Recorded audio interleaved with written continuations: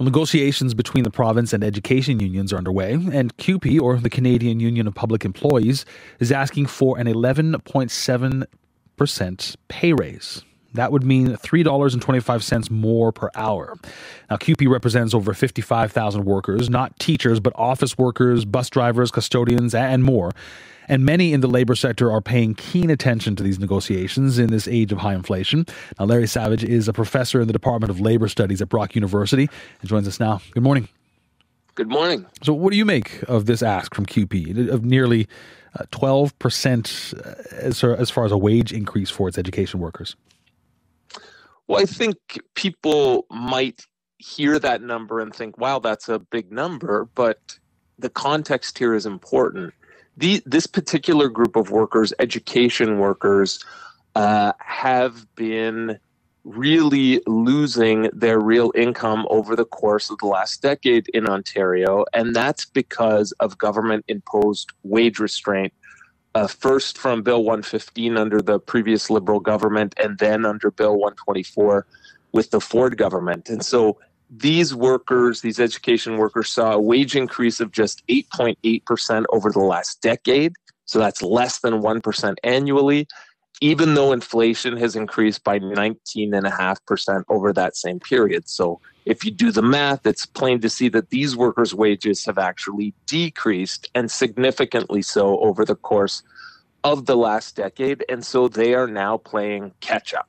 Okay, so they're playing catch up and have come back to the table with a, a request of an almost 12% uh, increase in pay. I'm guessing other unions would be watching this pretty closely. Well, certainly. I think in the broader public sector, uh, this is an important round of bargaining because CUPE is the largest public sector union in Ontario. I should say there are a number of private sector unions out there, like the Teamsters and, and a number of construction unions, that have managed to negotiate uh, wage increases that have matched inflation. And so there's sort of a precedent for this. But what's interesting in this round of bargaining is that we're talking about the public sector. And mm-hmm. so uh, government holds the purse strings. And uh, we know that the Ford government has an ability to pay, given that last month the province's financial accountability office released that report that mm-hmm. revealed that the government had had spent billions less than planned last year.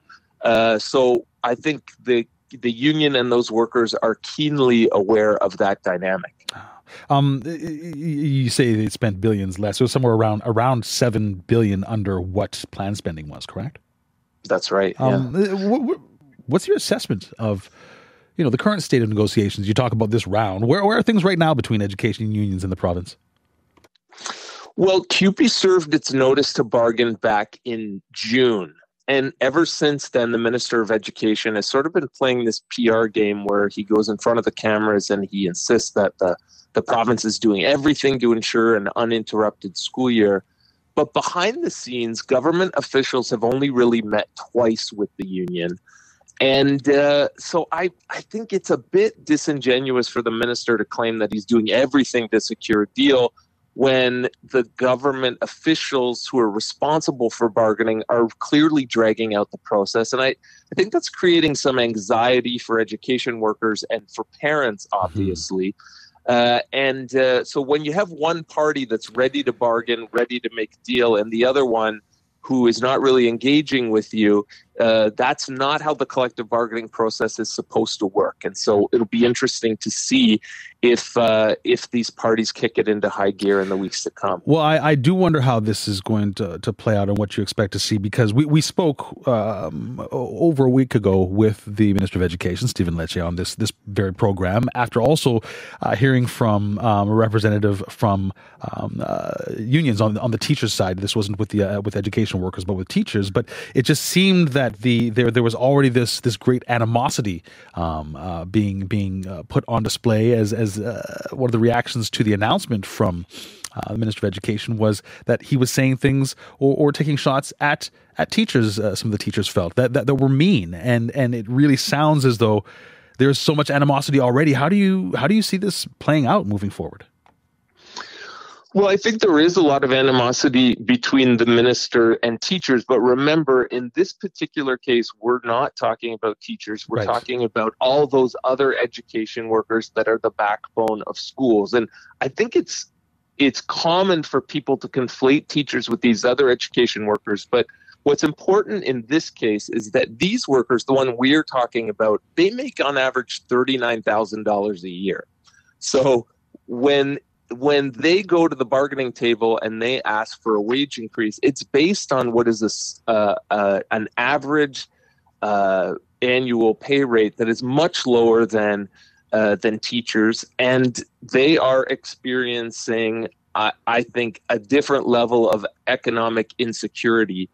And I think that this group of workers will have a, uh, more of a claim at the bargaining table to make gains that other groups of workers in the public sector may not have that same claim. Okay. So I, I- think that this round is different. It also involves a province-wide province uh, table where they're bargaining, and so the potential for economic disruption in the case of a strike or lockout is uh, is significant. hmm And, and and I get that we are talking about education workers here, and and we spoke with the minister of education about about teachers, but I don't think it's just uh, I don't think it's a very select few who are, who are con- conflating the two areas of work. I think that they're actually spoken about so often uh, in tandem, in in and and so we find ourselves even often having to point out that education workers uh, don't include the, the teachers, and teachers don't include education workers necessarily. I, I I do think though, or I guess I should ask you,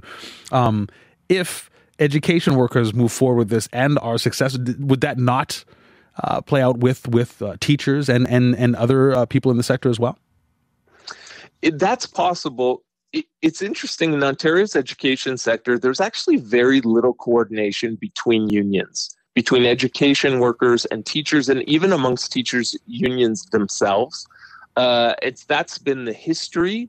Uh, arguably, they would probably all do much better if there was a greater deal of coordination. And I think the government knows that there's a lack of coordination and uh, tries to take advantage of that as part of the bargaining process by maybe playing divider and conquer or or, uh, or isolating individual unions Hmm. uh, in order to ensure that um, that they're getting the best deal from their perspective.